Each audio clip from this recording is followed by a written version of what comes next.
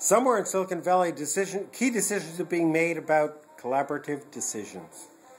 Mike Nessler, good afternoon. Nope. Uh, mayhem. May- uh, mayhem. mayhem, okay. So, guys, listen, you know why we're here. We're going to make a quick decision on a webcasting program. I've got two things we're going to cover really quickly.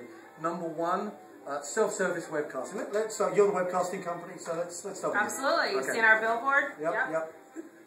We can do it. We, we need, you know, give us two Okay, weeks, okay, a okay. month. We can absolutely take care of that. All right. So, so uh, Mike, what, what? Tell me about it. Yeah, good job, Mayhem. That was so 17 seconds ago. I just created a webcasting environment for you right here on my laptop. 17 seconds. 17 seconds. Okay, all right. Well, cool. Well, okay. So, uh, audio integration. I know you've been talking a lot about that recently. So, what, what do you Cheers, think? absolutely. Cheers, So we've got yeah. plenty of partners. We can bring that in.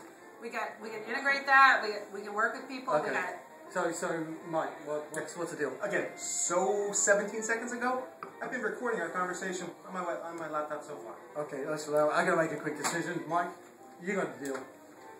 17 seconds does not apply in cases of coffee breaks, wife interruptions, non product knowledge, or not being as skilled as Ryan Osborne.